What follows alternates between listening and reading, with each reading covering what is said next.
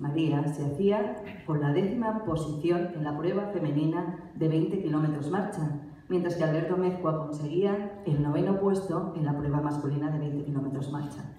Los dos consiguieron, por tanto, clasificarse nada menos que entre los 10 mejores marchadores del mundo, que parece poco, pero es muchísimo. Lo que de nuevo lleva el nombre de Guadix a lo más alto también de la competición deportiva. No hay que olvidar que cuentan con el apoyo de un excelente entrenador, que es también africano, Jacinto Garzón, que acudió además al Mundial convocado como entrenador a nivel nacional. Y que junto a ellos estaban también la algecireña Ainhoa Pinedo, que llegó en el puesto número 21 y que cuenta en su trabajo como deportista con el trabajo de su entrenador Manuel Segura, gitano también, y de Ina Casina, que se hizo con el puesto número 20. Ambas, Ainhoa e Ina, mantienen una estrecha relación con Guadix. Hoy están en este acto Jacinto Barzón y Alberto Amezcua, a los que les voy a pedir que suban al escenario, para recibir la felicitación que la ciudad hace extensiva, por supuesto, a todos los que junto a ellos estuvieron en Londres llevando a nuestra ciudad en su corazón.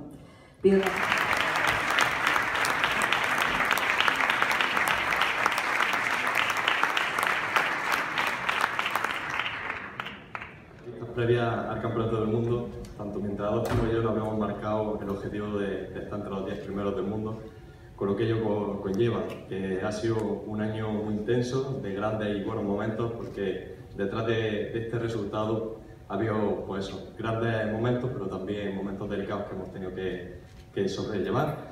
Y, y, gracias a eso pues, he conseguido este, este resultado.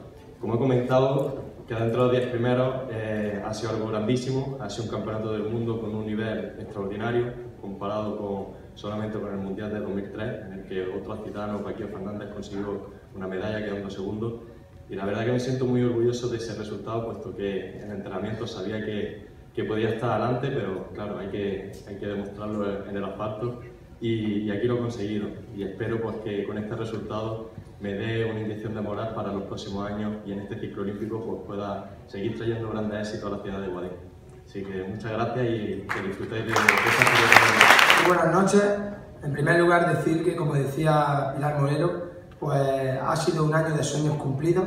Agradecemos al excelentísimo Ayuntamiento de Guadix pues, habernos hecho este recibimiento y a todo el pueblo de Guadix que ha estado muy volcado con nosotros durante todo este año, especialmente estos últimos dos meses, donde se han conseguido grandes resultados deportivos, entre ellos pues, dos medallas a nivel europeo y ese top 10 de, Alberto y de María, que eran las posiciones entre los mejores del mundo. Y bueno, esto nos permite seguir soñando y yo creo que con el talento de atletas como Alberto Amezcua, que ahora es el mayor abanderado de la marcha no solo gitana, sino de la marcha granadina, andaluza y por qué no de la marcha nacional, que vamos a poder seguir soñando y yo creo que pronto podremos estar en los Juegos Olímpicos en Tokio y por qué no soñar con la medalla. Muchas gracias y feliz feria.